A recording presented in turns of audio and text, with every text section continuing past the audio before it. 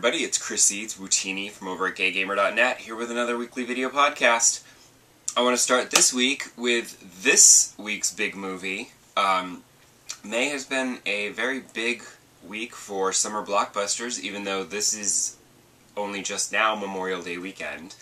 Um, I guess everybody just didn't want to wait for Memorial Day weekend to start the summer blockbuster season, because, you know, we already had Amazing Spider-Man 2, and Godzilla, and um, now we have X-Men Days of Future Past. And unfortunately, after those first two movies, um, I kept my expectations very low for uh, X-Men. Um, I knew Spider-Man was probably going to be kind of a hot mess because it was just overstuffed with too many ideas, and in fact, it did fall apart under its own weight, ruining what was actually a pretty decent core story. Um, Godzilla, as I have said in that week's podcast, um, was disappointing because uh, it was just a giant cock tease and kept cutting away every time things got good up until the very end when the last 20 minutes was the Godzilla monster battles that we came to see. Um, so that was disappointing. So I went into X-Men Days of Future Past with uh, very low expectations. Um, I was not as big a fan of First Class as everyone else seemed to have been. So I went into this thinking, alright, let's, you know, see. Turns out it's actually one of the, it is the best X-Men movie in my opinion.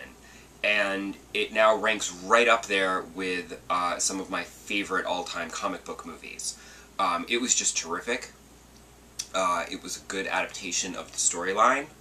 Um, and before going into it, I had read a review. Um, I always like uh, the Onion's AV Club. Um, I find their reviews to be pretty good. Also, they do a good job of never spoiling anything. They have separate spoiler reviews if necessary.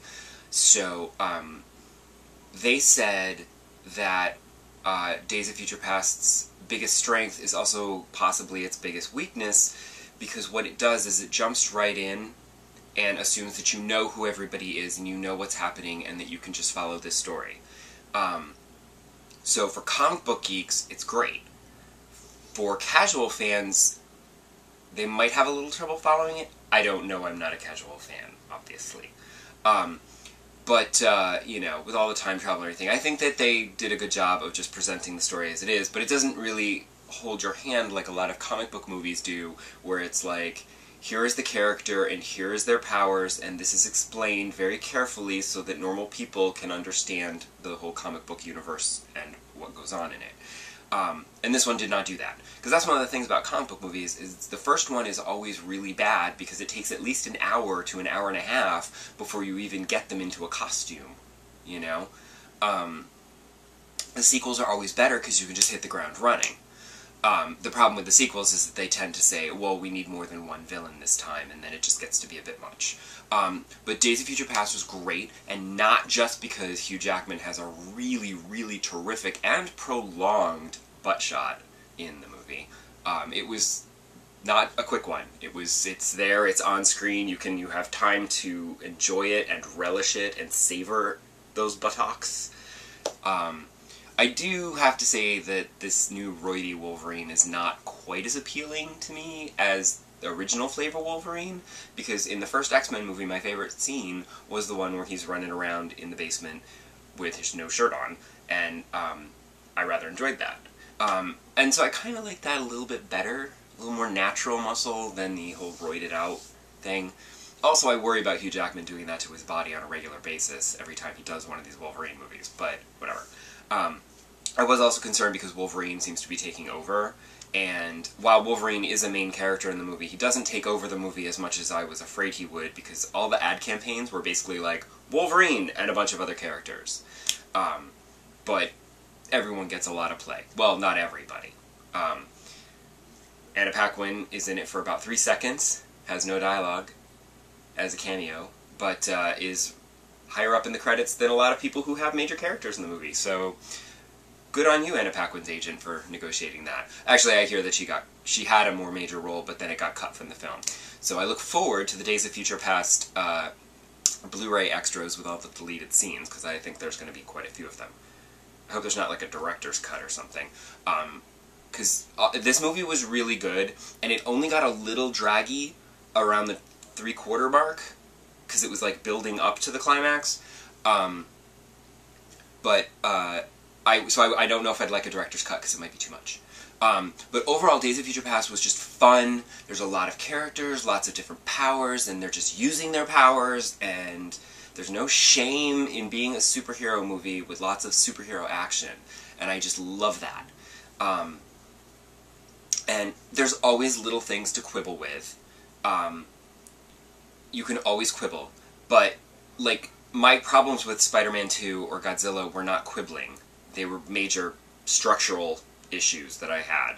Um, here, I was perfectly fine with it. Yes, you can quibble that, wait, uh, Kitty can send people back in time? Okay, they don't really explain it. It's fine. It's a nod to the original comic book where Kitty was the one who was sent back in time. But, you know, it's fine. I didn't, I just sort of said, okay, she has that power now. Whatever. It's fine. I, I didn't care about it. You know, some people quibble about little things. Why didn't this person use their powers to do this, and why didn't this person do that? And I'm like, you know, you can always quibble about lots of little things. But for me, it's a successful movie if I can sit there for the two to two and a half hours and be thoroughly entertained. And that is what Days of Future Past did for me that the others did not do. Um, Winter Soldier was good, but that I don't count as a summer movie because that came out like months and months and months ago, it seems. Um, but, uh, you know, I had a friend who argued that Winter Soldier was better, and I'm, you might be able to argue that empirically Winter Soldier is a better movie than Days of Future Past, but um, I found Days of Future Past to be more fun, which to me is what I want from a superhero movie. Um, Winter Soldier was a little too serious and a bit dark and a little grim in places, but um, it wasn't as, you know, fun woohoo as, as uh, Days of Future Past was. Um, so that's my movie review. And I don't know if there's any more summer movies. I feel like everybody just front loaded the summer with the blockbusters and oh well there's Guardians of the Galaxy that's coming out. Uh, also known as um, some other people starring Chris Pratt's abs and guest starring other folks. Um, that actually looks from the trailers they're piping up the comedy on that one so i'm hoping it's like the wolverine ads where it's like oh god wolverine's going to be all over this movie i'm hoping that Guardians of the Galaxy isn't as stupid and trying to be funny as the ads are making it out to be, because there is also some sci-fi action in the ads. And I'm hoping they're just kind kind of like playing up the comedy to try to differentiate it from the other superhero movies. Um, and it's not really that, because some of the humor is kind of stupid, and I'm a little worried. But uh, as long as Chris Pratt has enough shirtless scenes, it should be worth the price of admission. Um, and now on to uh, what I thought was wonderful gaming news uh, this week, even though it doesn't really affect me. Um, SingStar. Sony has announced that SingStar is coming to the PS4. Um, which is great. I don't have a PS4, but it's nice to know that when I do eventually buy my PS4, I will be able to download the SingStar app and continue singing my songs.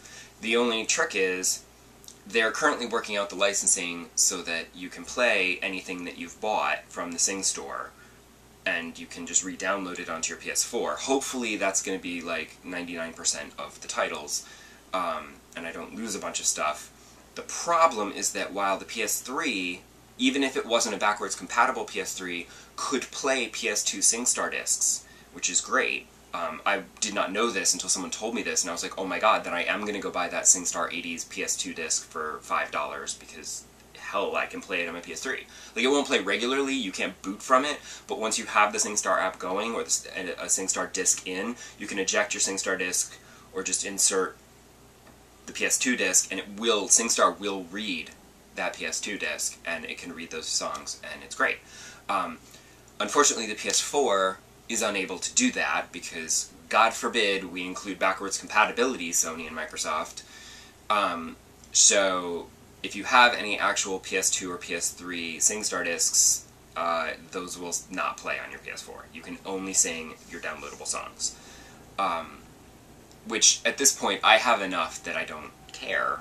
Like, my SingStar library is ridiculous. I don't need the discs really anymore. I hardly ever use them, except for my ABBA one when I want to sing some ABBA songs. Um, but uh, I'm looking forward to it. They've added the ability to use your cell phone as a microphone, which is actually a very clever idea of theirs because you can download the SingStar app for free, but then you still need to go and buy the microphones, which are like, you know, 20 to $30 depending on where you can find them new or used. Um, and, you know, you can't just use like a regular, you have to use the SingStar mics. So that's a little, you know, frustrating. But now that you can just download an app to your phone for free, you can download the SingStar game for free, try some of the demo songs, and then you can just start downloading songs if you like it.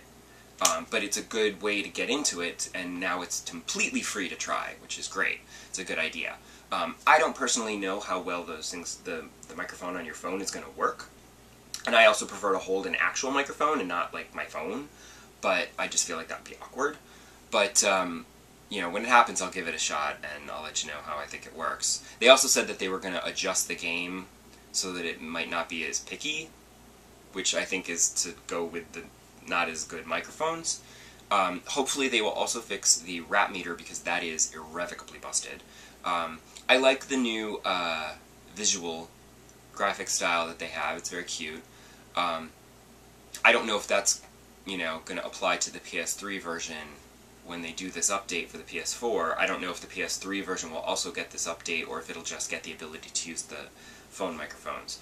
Um, either way, what I'm taking away from this, see, I don't care because I don't have a PS4 yet, so it doesn't really apply to me, but I think this is fantastic news because, you know, it means that SingStar is continuing. Um, I mean, Lips died off, Guitar Hero disappeared, Rock Band even died finally, and that was doing great, I thought, but then it finally just went away, and it was sad for my society not to continue with the DLC. Um, and so SingStar kept going, and they kind of dropped from updates every two weeks to updates every three weeks, then they, it was every month. Um, and they seem to be on a monthly schedule now. But as long as they're still releasing updates, I was like, yay! Some of them aren't that great, there might be one song, there might be no songs, but as long as they were giving updates, the series was continuing and I would still have my music video game to sing along to.